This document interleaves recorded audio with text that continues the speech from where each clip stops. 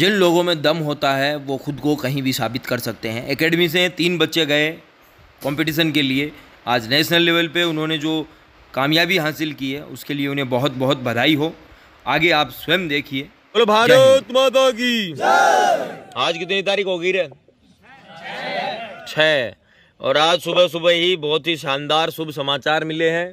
एक हर्षित यादव जो अपने यहाँ चार पैंतालीस चार बयालीस में आता था उसने पाँच किलोमीटर में कौन सा मेडल लिया है? सिल्वर। वो भी जयपुर में। सही है? तो उसके लिए एक बार जोरदार तालियाँ दूसरा, बंटी चौधरी। उसने तीन किलोमीटर में उसने भी कौन सा लिया है?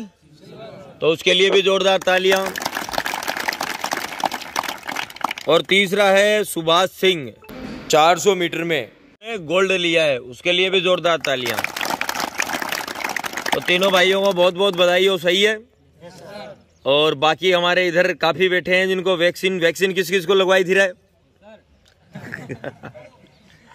और वैक्सीन लगाने के बाद कितने दिन रेस्ट करना है रे? तीन दिन बहुत है। किसी को बुखार आया तुम में से? ओह, बुखार आया, बोलते, कौन से एंगल से दिख रहा है रे बुखार?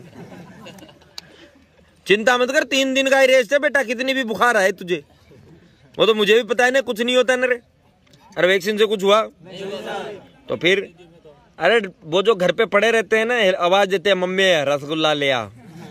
उनको बेटा बुखार हो गए। बोलो, भारत माता की।